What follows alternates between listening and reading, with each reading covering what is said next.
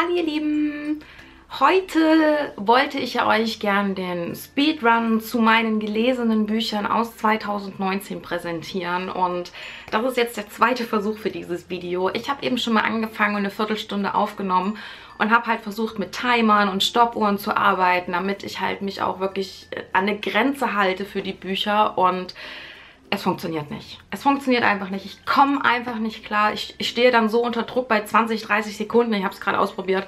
Ich komme damit einfach nicht zurecht. Ich, ich, ich schaffe es nicht in dieser kurzen Zeit, so viel über die Bücher zu sagen, wie ich gerne möchte. Deswegen machen wir das jetzt einfach so. Ich versuche weiterhin einen Speedrun zu machen, also wirklich schnell und viel zu erzählen in kurzer Zeit zu den Büchern, damit dieses Video nicht sehr, sehr lang wird. Ähm, es sind insgesamt glaube ich, 89 Bücher jetzt, die hier auf meinem Stapel liegen. Das heißt, wenn ich mir für jedes Buch eine Minute Zeit nehmen würde, würde dieses Video 89 Minuten gehen. Ähm, deswegen machen wir das Ganze jetzt einfach so. Ich werde jetzt keine Stoppuhr mehr benutzen. Ich werde keinen Timer benutzen. Das setzt mich einfach viel zu sehr unter Druck und dann schaffe ich es nicht, irgendwas zu erzählen. Ich werde jetzt einfach anfangen und hier jeden Stapel durchgehen und ich werde dieses Video splitten. Ähm, weil 89 Minuten am Stück, das tut sich kein Mensch an. Also das äh, macht einfach niemand. Und ich gehe jetzt einfach jeden Stapel hier durch. Auf jedem Stapel habe ich ungefähr 20 Bücher liegen. Das heißt, ich werde ähm, dieses Video in mehrere Teile aufteilen. Ähm, ich werde diese Videos dann kurz hintereinander auch hochladen und veröffentlichen für euch. Aber das macht einfach keinen Sinn, wenn ich mich selber unter Druck gesetzt fühle und euch dann nichts erzählen kann zu den Büchern. Ihr wisst, ich rede gerne, ich rede viel über Bücher und ähm, wenn ich dann selber so unter Druck stehe mit den 20 Sekunden, ich schaffe das einfach nicht. Dafür rede ich zu viel und dafür rede ich einfach zu gerne. Ähm, deswegen machen wir das jetzt so. Ich fange an, ich nehme mir jeden Stapel vor. Ich habe hier noch mein äh, Goodreads, meine Lese-Challenge von 2019, wo ich nochmal mit gucke, was für Bücher ich 2019 gelesen habe, die ich nicht mehr hier habe. Das heißt, ich gucke immer nochmal mit in die Reading Challenge rein was für Bücher habe ich nicht mehr da, was habe ich weggegeben. Ähm, diese Bücher blende ich euch dann hier ein und erzähle euch dazu dann auch noch das, was ich weiß. Ähm, aber das macht einfach keinen Sinn, wenn ich mich zu sehr unter Druck setze. Dann wird das Video für euch nicht schön und für mich nicht schön und deswegen machen wir es so. Ich habe vier große Stapel hier liegen. Ähm, ich kann euch ja mal ein Foto von diesem Stapel hier einblenden, wie groß der ist. Ich würde jetzt einfach jeden Stapel mir vornehmen und zu jedem Stapel ein Videoabschnitt machen. Dann haben wir vier Videos. Wie gesagt, ich gucke, dass ich sie wirklich an vier aufeinanderfolgenden Tagen auch hochlade, die Videos. Aber das funktioniert sonst nicht. Ich äh, kriege das sonst nicht auf die Kette. Und äh, ja, deswegen kriegt ihr jetzt heute den ersten Teil von allen gelesenen Büchern 2019. Und ähm, ja, wir fangen mit dem ersten Stapel heute an, arbeiten uns dann zum zweiten, dritten und vierten vor. Also ich drehe das jetzt dann am Stück. Ich werde dann nachher wieder Fusseln im Mund haben. Aber ich denke, das ist so am besten, weil dann kann ich mir in Ruhe ein bisschen mehr Zeit lassen für das Video. Dann kann ich ein bisschen zwei, drei Sachen mehr über die Bücher sagen, außer in 20 Sekunden alles runterzuhetzen. Und ähm, ja, mein Mann macht Kaffee. Super. Ähm, ja, auf jeden Fall machen wir das jetzt so und ich denke, das ist die bessere Lösung, bevor ich jetzt hier alles runterhetze. Und ähm, ja, wir starten heute, wie gesagt, mit dem ersten Stapel und ich hoffe, dass der Kaffee gleich durchgelaufen ist von meinem Mann und wir nicht mehr so viel Background-Geräusche haben. Und dann arbeiten wir uns immer weiter vor, bis wir fertig sind und das kriegen wir irgendwie hin. Und ich weiß, ihr guckt sehr, sehr gerne lange Videos und wie gesagt, dann haben wir nochmal einmal alle Bücher von 2019. Wie gesagt, ich versuche es immer noch als Speedrun zu machen und relativ kurz zu halten, dass es nicht zu ausschweifend ist. Zu den meisten Büchern kann ich auch gar nicht mehr so viel sagen weil ich nicht mehr so genau weiß, was da genau alles war und so. Aber ähm, ja, so zwei, drei Sachen möchte ich schon gern sagen. Wie gesagt, mich dann auf 20 Sekunden da einzugrenzen, das ähm, funktioniert halt einfach nicht. Und jetzt habe ich wieder lang und breit und groß erzählt. Und ähm, ja, ich würde sagen, wir starten jetzt mit dem Speedrun für die gelesenen Bücher 2019. Das erste Buch, was ich 2019 gelesen habe, war Solange wir schweigen. Es ist der dritte Teil der Ivy Years Reihe und es war mein allererster Gay-Roman.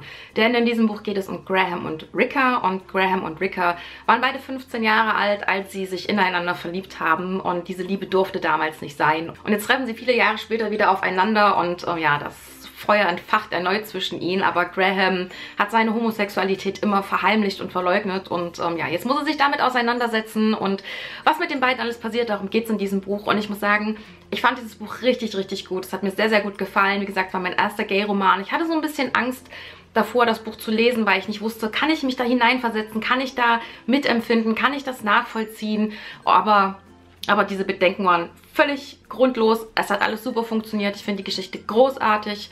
Ich muss sie unbedingt mal wieder lesen. Ich fand dieses Buch einfach ganz, ganz toll und jeder, der gerne New Adult Geschichten liest, sollte sich The Ivy Years, Solange wir schweigen, auf jeden Fall mal angucken. Und jeder, der gerne mal einen Gay-Roman ausprobieren möchte, sollte sich das Buch hier auf jeden Fall angucken. Ich kann es wirklich so als Einstieg wirklich nur empfehlen. Dann danach habe ich gelesen Schenke mir deine Träume von Mary Force. Das ist der vierte Teil der Green Mountain Serie und hier geht es um Hunter und um Megan. Ich habe mich sehr auf dieses Buch gefreut.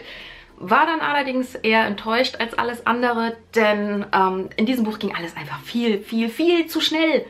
Es ging einfach viel zu schnell. Megan war jahrelang in Will verknallt und dann kommt Hunter daher und zeigt Interesse an ihr und auf einmal ist sie voll in Love mit Hunter und ah, da hat für mich einfach diese Brücke gefehlt, dieser Übergang und ja, das hat das Buch für mich so ein bisschen kaputt gemacht. Ähm, es ist eine süße Geschichte.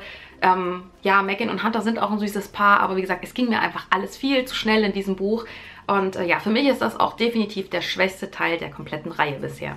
Danach habe ich dann gelesen Dragon Fortune Episode 1 von der lieben Nikki Pekiso und Taya Anders. Ähm, das ist eine Jugendgeschichte, wo es um Drachen geht und um einen Fluch und ähm, einen Prinzen. Und es geht hier um Dominik und Dominik wird mit Syra zusammen auf einer Burg eingesperrt quasi. Und äh, ja, das hängt mit einem Fluch zusammen.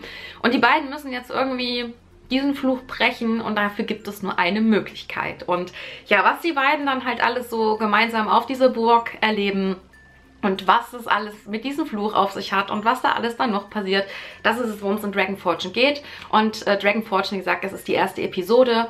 Das lässt sich easy peasy lesen. Ich musste auch unbedingt mal weiterlesen. Ich habe Episode 1 und 2 gelesen danach irgendwie habe ich aufgehört. Ich muss da dringend mal weiterlesen und äh, ja, ich kann jedem, der gerne Jugend-Fantasy-Bücher liest, das hier auf jeden Fall nur empfehlen. Ist eine richtig coole Geschichte, hat mir sehr, sehr gut gefallen und allein, dass der Protagonist Dominik heißt, ne?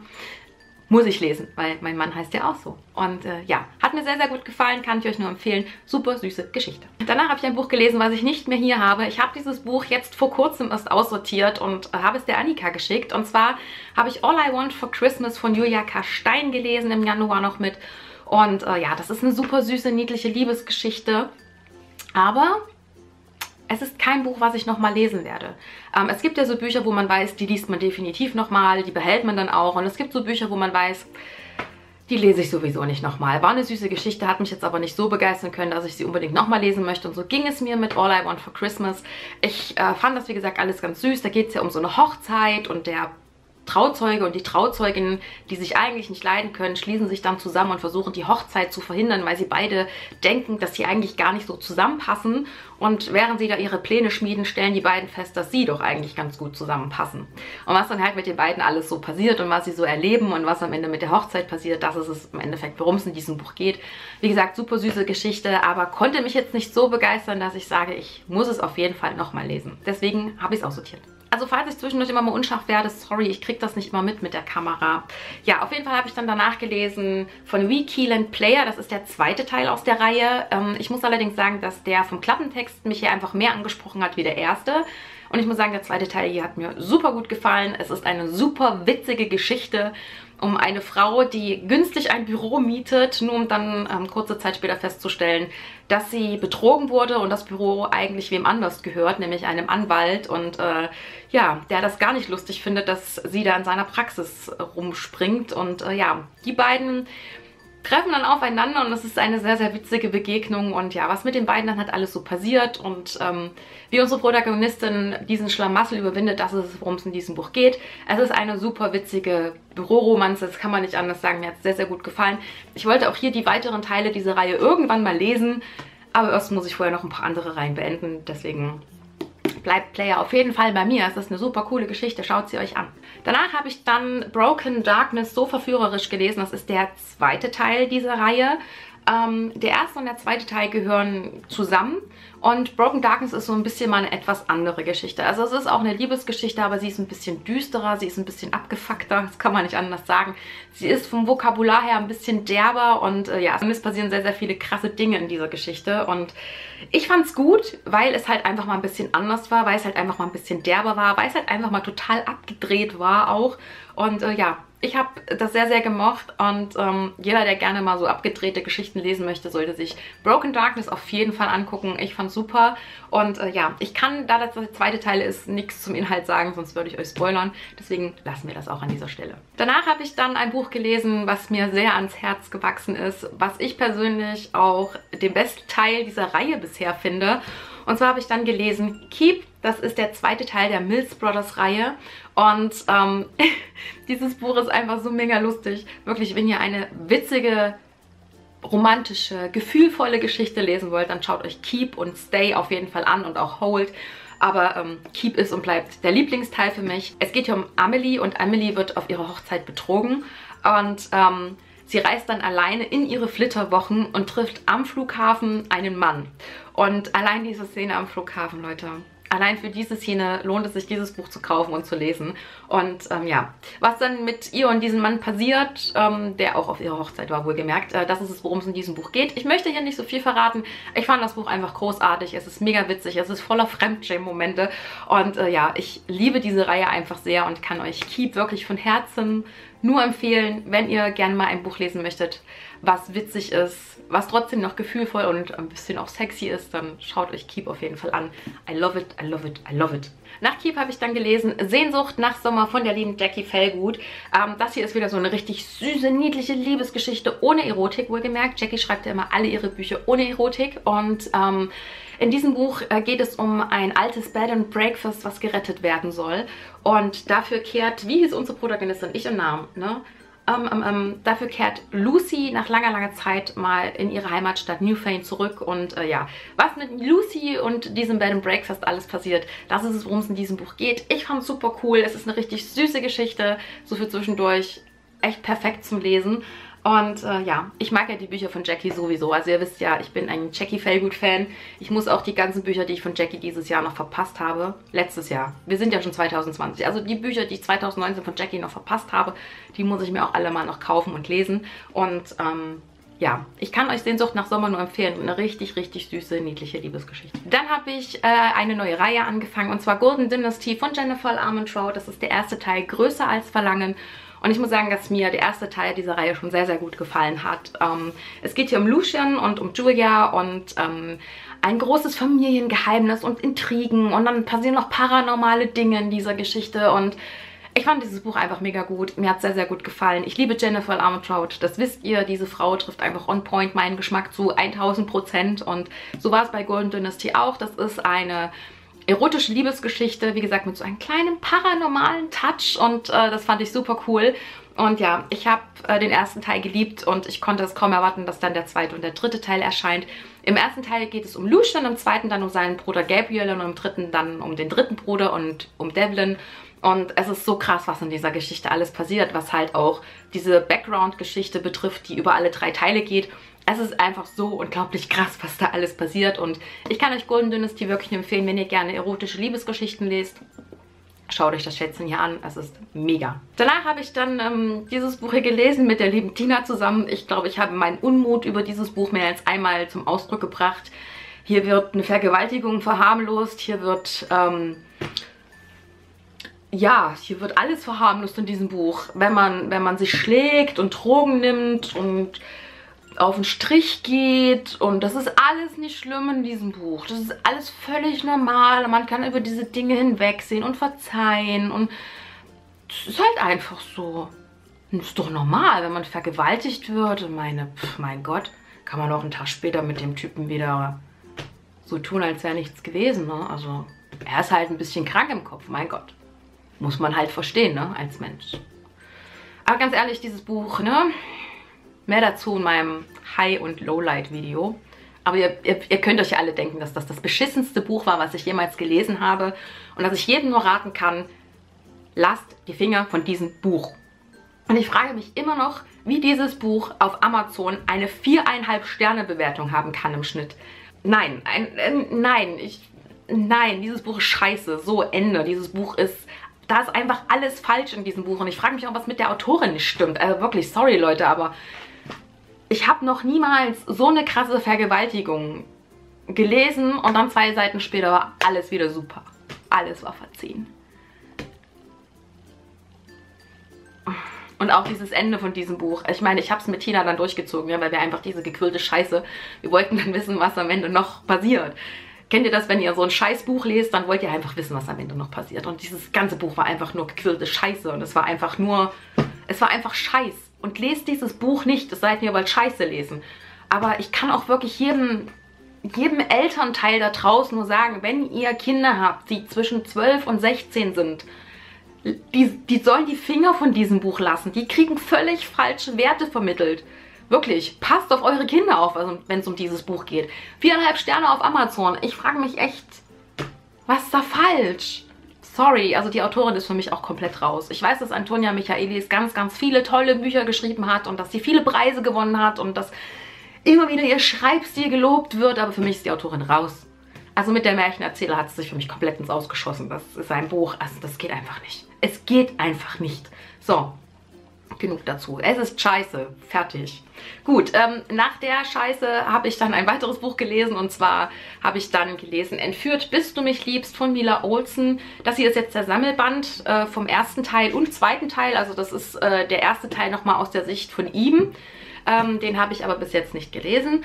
Ähm, ich muss sagen, ich war von Entführt ein bisschen enttäuscht. Hier geht es ja um, wie sie Luisa und Luisa wird auf einem Campingausflug von einem fremden Mann in die Wildnis Kanadas verschleppt und entführt und ja, dann entwickelt sich halt so eine Liebesgeschichte zwischen den beiden und ich muss sagen, oh, konnte mich jetzt leider nicht so überzeugen. Ähm, von der Umsetzung her hat für mich nicht hundertprozentig gepasst. Ich habe das Buch gelesen, weil ganz, ganz viele auch andere Booktuber von dem Buch so geschwärmt haben, aber ja, meine Geschichte war es nicht. Also ich fand es okay, es war kein grottenschlechtes Buch, aber es ist äh, keine Geschichte, die mich extrem packen konnte, wo ich halt auch sage, oh mein Gott, das ist so eine gute Geschichte, lest es.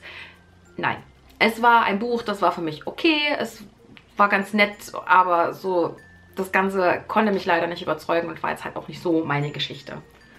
Mehr kann ich dazu jetzt halt auch nicht mehr sagen, ne? Also es war halt einfach nicht mein Buch. Ja, Danach habe ich dann das Schätzchen hier gelesen und zwar Heartless von Sarah Wolf, Der Kuss der Diebin. Das ist der erste Teil einer Trilogie. Der zweite Teil kommt, glaube ich, jetzt dieses Jahr im Mai, kommt der, glaube ich, raus. Am 1. oder 2. Mai oder sowas.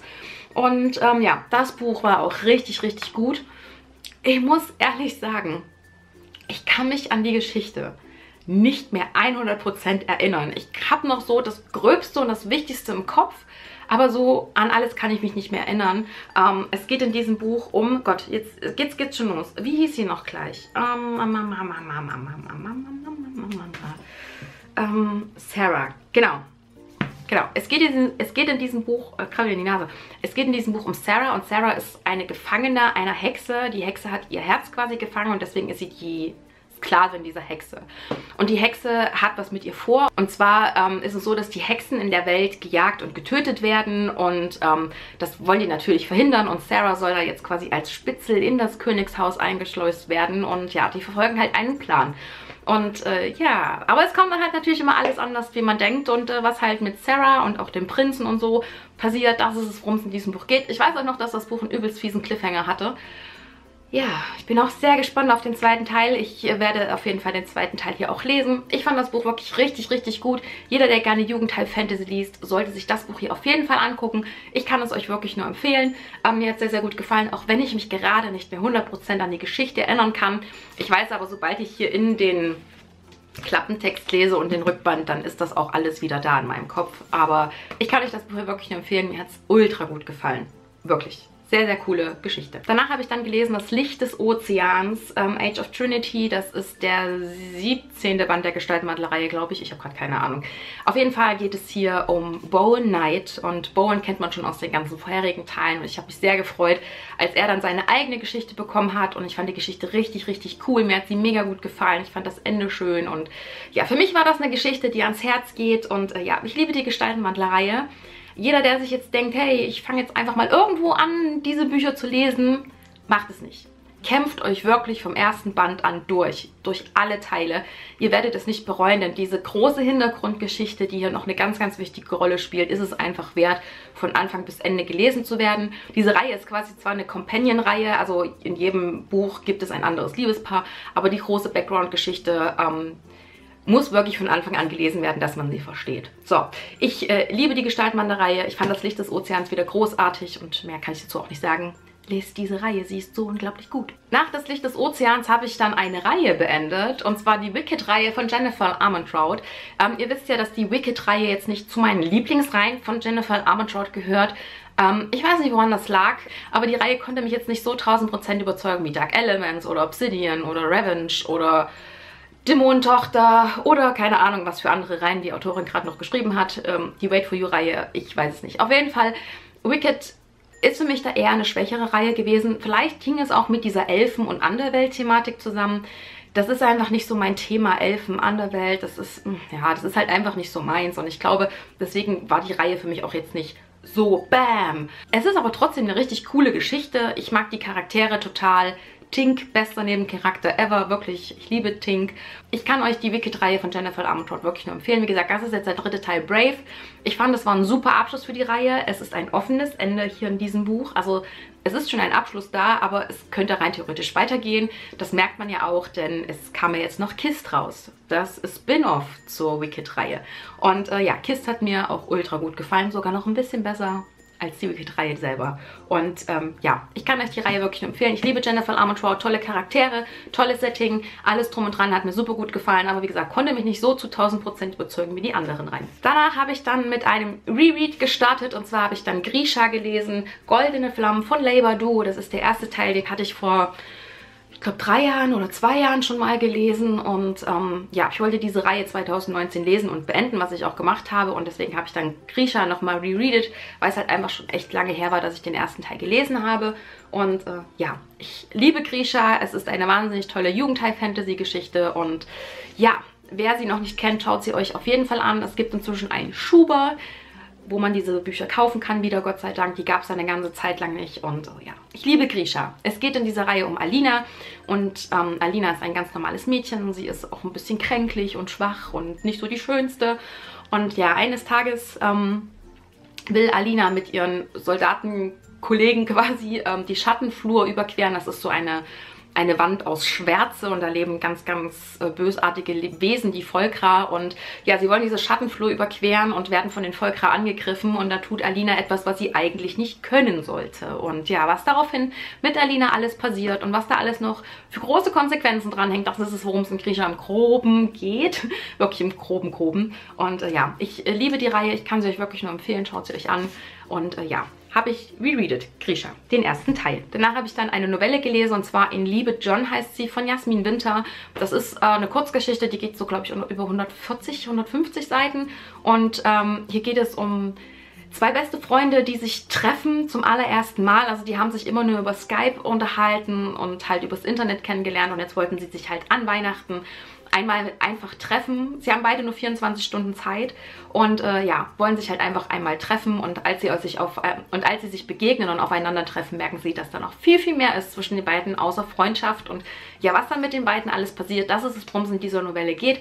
Ich fand sie super süß, mir hat sie sehr, sehr gut gefallen und ähm, ja, wenn ihr mal Lust auf eine Novelle habt, schaut euch in Liebe John auf jeden Fall an. Ich fand die Geschichte zuckersüß und mir hat sie sehr, sehr gut gefallen. Als nächstes habe ich dann ein Buch gelesen, was ich inzwischen auch nicht mehr besitze und zwar die Ellingham Academy von Maureen Johnson. Das ist der erste Teil einer Dilogie und ich muss sagen, bei der Ellingham Academy, da waren mir zu viele Dinge ungeklärt, da waren mir zu viele Plotlöcher, da hat für mich zu vieles nicht zusammengepasst und es geht hier um eine Schule, an der Morde passieren und unsere Protagonistin ähm, versucht dann herauszufinden, was da alles da dahinter steckt. Und ähm, ja, es war ein Buch, was mich nicht hundertprozentig überzeugen konnte. Ich weiß noch, dass es mir halt einfach nicht so gut gefallen hat. Ich kann mich ehrlich gesagt nicht mehr so genau an alles erinnern, aber ja, es konnte mich im Endeffekt im Groben und Ganzen nicht überzeugen. Es war okay, es war kein schlechtes Buch, aber ja, für mich war da einfach zu viel unklar am Ende und das Buch konnte mich jetzt nicht zu 100% überzeugen. Deswegen habe ich es auch wieder aussortiert und weitergegeben und ähm, ja, Ellingham Academy. War nicht meine Geschichte. Danach habe ich dann wieder mal einen Liebesroman gelesen und zwar Maybe This Time. Und plötzlich ist es für immer. Das ist der zweite Teil der Colorado Ice Reihe und ähm, in diesem Buch geht es um Ben und Olivia. Und ähm, Ben trifft Olivia bei der Scheidung von seiner Frau. Und Olivia ist die Anwältin seiner Frau. Und ähm, man muss sagen, Ben hat im Suff geheiratet in Las Vegas. Und er wollte das eigentlich alles so gar nicht. Und äh, ja jetzt treffen die beiden halt in dieser Situation aufeinander und das ist echt richtig, richtig übel, so ein bisschen teilweise. Aber ich muss sagen, ich fand die Geschichte richtig cool, hat mir sehr, sehr gut gefallen. Ich fand zwar eine super süße Liebesgeschichte. Ich finde ja den ersten und den zweiten Teil dieser Reihe wirklich super. Den dritten habe ich jetzt im Januar gelesen. Der war leider nicht so gut wie der erste und der zweite. Der war eher schwächer, was ein bisschen schade war. Aber ähm, der hier ist echt richtig süß und den kann ich euch auch wirklich nur empfehlen. Es ist, wie gesagt, eine zuckersüße Liebesgeschichte mit Erotik wieder. Danach habe ich dann das Buch hier gelesen. Broken Darkness, so gefährlich. Und oh mein Gott, was war das für eine Geschichte. Ich weiß doch, dass dieses Buch total abgefahren war. Ähm, es war sehr sexuell. Es war sehr obszön obszön und Alter, was hier alles in diesem Buch passierte, das war einfach so überhaupt nicht meins. Also ähm, in diesem Buch geht es um Joanne und um Max und ähm, Max ist der Bruder von dem Protagonisten aus dem ersten Teil und Joanne ist ein Nebencharakter aus dem ersten und dem zweiten Teil. Und ähm, ja, Joanne tut Max quasi entführen und äh, versucht Informationen aus ihm rauszukriegen. Und ähm, ja, die beiden fühlen sich aber sehr stark zueinander hingezogen. Und ja, was dann halt mit den beiden so passiert, das ist es, worum es in diesem Buch geht. Ich kann wirklich nur sagen, dieses Buch ist sehr sexuell, sehr obszön, sehr derb. Und das war halt alles nicht so meins. Also im ersten und im zweiten Teil war das ja auch schon alles sehr derb und ein bisschen obszöner und ein bisschen abgedrehter einfach alles. Aber der zweite Teil toppt das nochmal um Längen und das war so zu viel einfach für mich des Guten. Ähm, das Buch war ganz, ganz, ganz nett halt so von der Story her ähm, und wäre das alles so ein bisschen weniger gewesen, mit dem ganzen Sexuellen auch, dann äh, wäre das auch ein richtig cooles Buch für mich gewesen, aber so war es mir einfach vom sexuellen Anteil her zu viel. Aber die Geschichte, die eigentlich so dahinter steckt, fand ich doch ganz cool. Ja, aber ansonsten war es mir einfach zu viel des Guten mit allem drum und dran. Mein Mann kocht Kaffee Nummer 2. Ähm, ja, das letzte Buch für dieses Video jetzt, für den ersten Teil, ist Cinder und Ella von Kelly Oram. Das ist eine Jugendliebesgeschichte und ich muss sagen, dieses Buch ging mir echt an die Nieren. Ich habe echt mit Ella gelitten. Ich habe wirklich mit ihr gelitten. Ich habe mit ihr gefühlt. Ich habe mit ihr geweint, ich habe mich mit ihr aufgeregt. Dieses Buch ist mir echt richtig an die Nieren gegangen, ähm, was ja nur für das Buch spricht. Also ich kann wirklich jedem, der absolut mal eine wunderschöne Liebesgeschichte lesen möchte, ohne Erotik, der sollte sich dieses Buch hier auf jeden Fall angucken. Ich kann es euch wirklich nur empfehlen. Eine ganz, ganz, ganz, ganz tolle Geschichte. Super gefühlvoll, tolle Charaktere, eine tolle, eine tolle Story einfach. Und äh, ja, ich finde dieses Buch so, wie es ist, perfekt. Und deswegen werde ich auch den zweiten Teil nicht lesen. Für mich ist diese Geschichte, so wie sie hier abgeschlossen ist, perfekt. Ich habe zwei, drei Meinungen gehört zum zweiten Teil und ähm, das bestätigt auch meine Vermutung, worum es im zweiten Teil geht und nee, das möchte ich einfach nicht lesen. Also für mich wird diese Geschichte, so wie sie hier war, perfekt und abgeschlossen und ähm, ja, den zweiten Teil werde ich persönlich nicht lesen, auch wenn er vielleicht gut ist und euch gefällt, aber ich werde ihn nicht lesen und ähm, ja, ich liebe dieses Buch. Es ist einfach eine wahnsinnig tolle Geschichte. Wie gesagt, ich habe echt voll geheult bei dieser Geschichte teilweise. Und ähm, ja, es ist mir sehr, sehr ans Herz gegangen. Die Autorin hat einen wahnsinnig tollen Schreibstil und äh, ja, ich kann euch Cinder und Ella wirklich nur empfehlen. Schaut euch das Buch mal an, wenn ihr gerne Jugendliebesgeschichten lest.